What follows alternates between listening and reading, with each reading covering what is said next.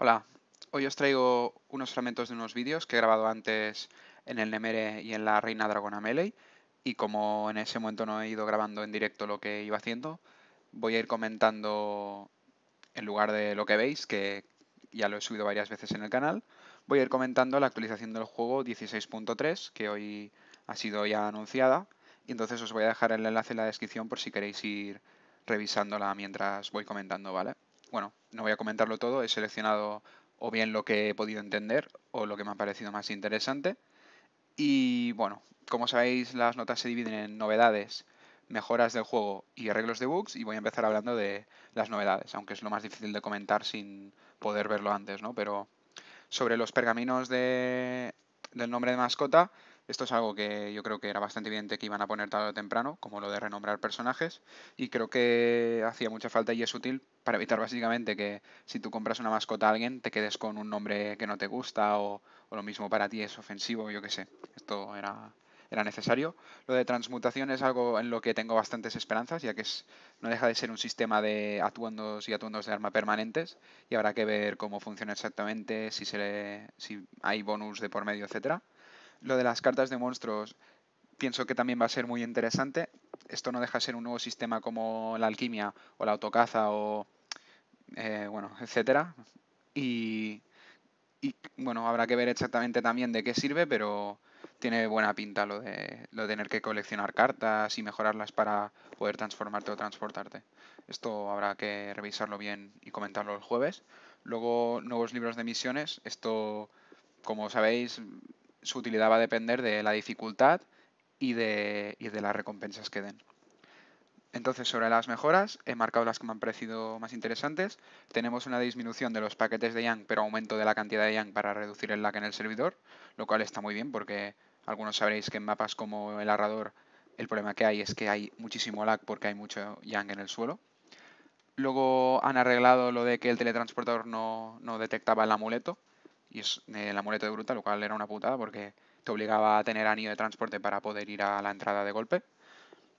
Luego el tema de las solicitudes en, el gremio, esto lo han ahora modificado, han puesto que se pueda poner un nivel mínimo. Creo que esto es un sistema que no se está usando mucho, al menos yo no lo he visto, pero es bastante interesante, sobre todo para, pues para que cualquier persona que quiera entrar a un gremio pueda intentar postular y sin tener que estar todo el día buscando al líder o lo típico que se ha hecho hasta ahora. Luego tenemos que se han añadido drops a los cofres de la Dragona Melee, que son el, de, cofre de la Dragona y el cofre de los Guardianes. Un drop de libros de contraataque y potenciación, lo cual está bien porque ahora mismo están muy caros y a ver si de esta forma, por un lado, hay más en el server y, y baja el precio. Luego han quitado de las votaciones, que también creo que han hecho bien en, echarse para atrás porque era, era un lío y era mucho follón hacer votaciones, tenías que esperar, bueno. Luego, eh, ahora cualquier miembro marcado como combatiente puede entrar aquí, a la sala del melee. Esto está perfecto porque así no hay que depender siempre de, que esté el líder conectado. El tema de los jefes que aparecen aleatoriamente, sé que muchos, eh, incluso a mí me parece una putada, pero una vez ya que se había hecho con la bruja, tarde o temprano se tenía que hacer con más jefes, y aunque esto va a provocar que a lo mejor perdamos un poco de tiempo, también va a provocar que si conseguimos una buena estrategia para encontrarlos sea más fácil hacerlos y tengas menos competencia, ¿no? Entonces, buscar la estrategia.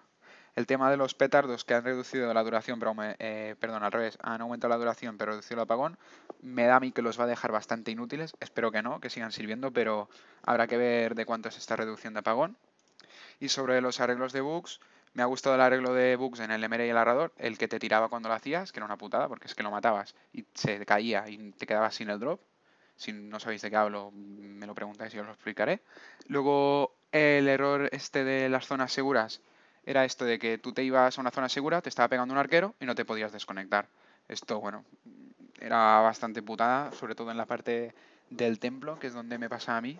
Y bueno, pues ya está arreglado. Luego, lo de bloquear la entrada al Venan Setau, esto había pasado en Hydra y también está bien que lo hayan arreglado porque realmente si se bloqueaba la entrada se podría fastidiar y mucho. Y el tema de las zonas en que, que nos quedamos atorados en el bosque encantado, esto sí que está súper bien porque es que yo estaba leveando, te quedabas atorado en la pared del bosque y no te servía ni cambiar PJ, tenías que darle a City, lo cual era una putada y se perdía muchísimo tiempo. Entonces, bueno, ha habido algunas partes de esto en las notas que no he entendido, por eso no las he comentado, lo mismo me he saltado algo importante, pero bueno, eh, lo que voy a hacer es el jueves o el viernes, cuando domine un poco lo nuevo, voy a hacer un vídeo comentando y explicando lo que haya aprendido y qué me parece. Así que nada, si os ha gustado este vídeo y queréis más, dejadlo en los comentarios, preguntadme qué es lo que queréis saber y nos vemos en el próximo vídeo.